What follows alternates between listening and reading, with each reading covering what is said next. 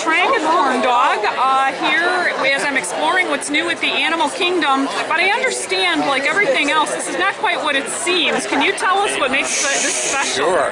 This is an African-inspired corn dog. It's made with a South African Boerewors sausage, which is a farmer's sausage made of beef and pork and allspice and clove and garlic and everything that would be a little bit exotic. And we're hand dipping it in a curry laced corn dog batter and it's fried. And this actually is one third the actual size of the corn dog when it opens at Harambe Marketplace. Oh wow! So it's going to be a big, big meal yes. on stick, basically. Yes. Uh, we chose a smaller style uh, casing for the sausage. The sausage is made locally, uh, and we're really excited about it.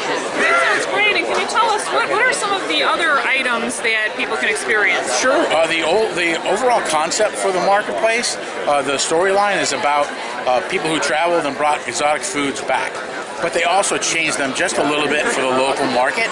So we have a shawarma sandwich, or more like a, a gyro uh, that we're uh, spicing with a, uh, Ethiopian berbere spice. We have a Karubi pork rib that's finished with ras al hanout and red wine barbecue sauce. That comes with a rainbow carrot and green papaya salad. And then with that, we also have a, a berbere spice all natural chicken skewer.